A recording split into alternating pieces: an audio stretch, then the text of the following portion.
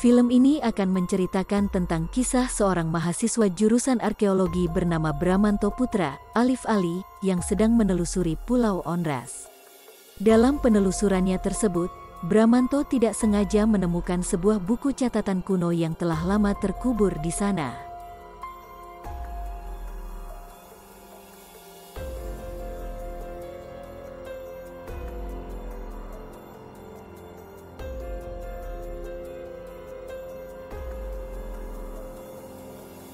Bramanto lantas meminta bantuan teman perempuannya yang bernama Susan Sriwati, Yoriko Angelin, yang merupakan teman sekaligus wanita yang selama ini ia sukai.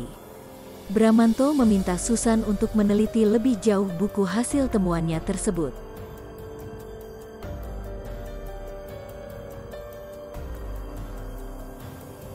Namun, Penelitian tersebut justru menjadi malapetaka bagi mereka karena membuat arwah-arwah penasaran di Pulau Onras bangit dan meneror Susan. Arwah-arwah itu seperti terlahir kembali ketika Susan tidak sengaja membaca sebuah mantra yang ada di dalam buku kuno tersebut.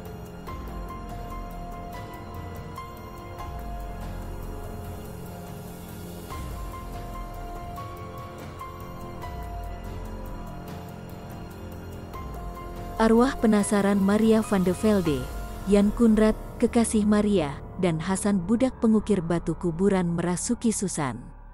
Bram meminta tolong pamannya Profesor Daniel untuk menyelidiki kasus Susan.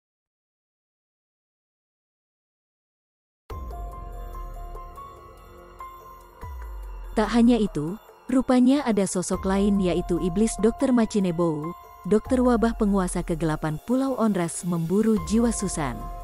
Bram dan Profesor Daniel pamannya harus melawan kekuatan iblis untuk menyelamatkan Susan.